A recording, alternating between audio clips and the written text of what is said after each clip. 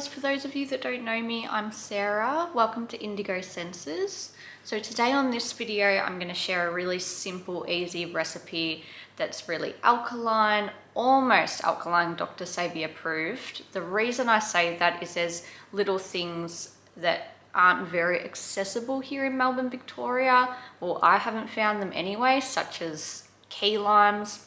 Don't know where to find key limes and just little tiny things. But an alkaline diet's something that I've incorporated into my plant-based whole food way of living and without even realizing incorporated it even more and I just find you feel really great from it. I personally feel amazing from it. Whenever I put acidic foods into my body or processed foods, alcohol, coffee, I feel it. I feel it mentally, physically, on all levels. So I just want to share a little bit about my journey with trying to become more alkaline and using the Dr. Sebi nutritional guide.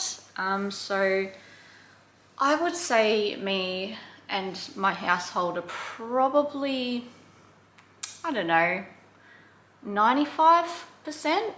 I, I'd probably say my weaknesses is sometimes I like a drink and coffee. Coffee is a big one. I've given it up plenty of times, but it just takes that one relapse to drink that coffee again and then you're back on the wagon.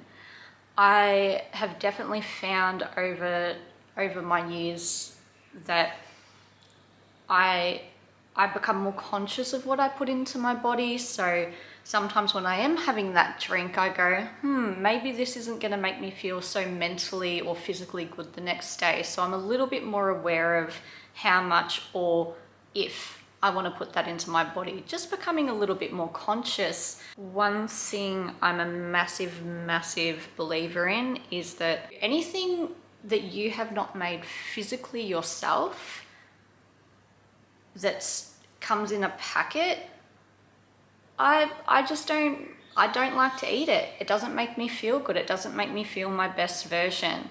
If it comes in a packet and it's been processed and made in a factory, it's probably not going to be great for you in the long run. It doesn't make you feel as alive as as what you could be. It doesn't matter what it is, whether it's it's a vegan mock meat, whether it's a whatever. Rather than I guess me personally, rather than eating a block of tofu or eating a, a vegan mock meat, I would rather make those things out of mushrooms or nuts or or chickpeas. I would rather eat something that's going to fuel me in a better way and not putting all these other additives and nasties. Not saying that you shouldn't eat those things. If you would like to eat those things, if that's your plant-based vegan journey and you find that you're fine on that, then go ahead and eat them, definitely. I think it's great that we do have those alternatives so it does help people transition into the more plant plant-based way of living or if you're you want a, a treat, you know, you're having people over for a barbecue. I think they're great, but if you can try and minimize that when you're eating a plant-based diet and, and incorporating more alkaline foods, more whole foods, you're gonna feel a lot better. You're not gonna be lacking anything. You're not gonna be feeling crap all the time. You're gonna be feeling more alive. So I think my message here is just incorporating more plant-based whole foods, alkaline foods, and just more more alive foods that aren't going to make your body feel crap. So yeah, this is just going to be a little bit of a journey of how I incorporate a Dr. Sebi approved alkaline diet into my life and slowly just leveling up.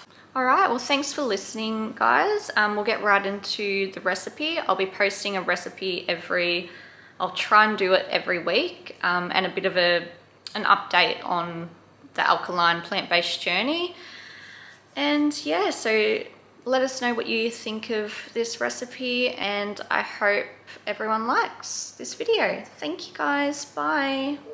Believe me when I say you have to try this walnut meat. It is so, so delicious. What you're going to want to do now is add your onions, oregano, salt, and just a little bit of water. You don't need to use oil. So let that sizzle up a little bit, make it nice and translucent. You're going to want to put your walnuts in a blender and just pulse them a little bit. Don't do them too fine, just kind of chunky. Add a little bit more water to deglaze the pan. Add your capsicums, zucchini. Get everything a little bit soft. Add your tomatoes. That's going to make it all nice and saucy. And your walnuts. The walnuts will absorb everything like a sponge. So now you're going to add cayenne pepper, onion powder, more oregano, a little bit of paprika, and some water. So the water is going to help everything absorb into the walnut meat. Alright, so put that on a low heat and just let it all cook away. And once it's nice and soft and juicy, you've got your walnut meat. Now we're going to make our basil tahini sauce. So add your tahini to a blender, add your orange juice and your lime juice, add some water, basil, onion powder, salt, and blend up. Now, here I made it too thin, but that's okay. Add some more tahini and add some more basil. Alright, blend it till it's nice and creamy. Taste it, and then go ahead and pour it in a jar.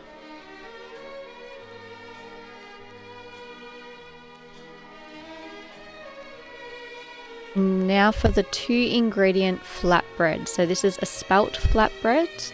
So all you're going to need is some spelt flour, some warm water, and just mix it all up till a nice firm dough forms. You can get fancier and add herbs to this. You can add onion powder. You can add whatever you want to it. I just kept it really plain and simple. So knead it as you would any other dough and get ready to divide it. So this one I divided into four. So this was just one cup of spelt flour to half a cup of water. Roll your dough out into a nice flat flatbread.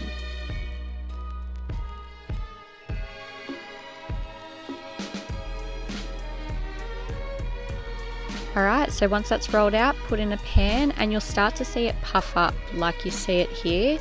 So when it starts to puff up, that's when you kind of know it's time to flip it. You don't need oil in the pan. So the secret to getting the flatbread really nice and foldable is wrapping it up in a tea towel.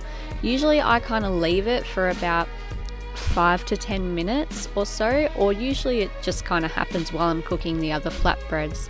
So on our flatbread, we put the walnut meat, we put some quinoa, our basil tahini sauce, some kale, some avocado.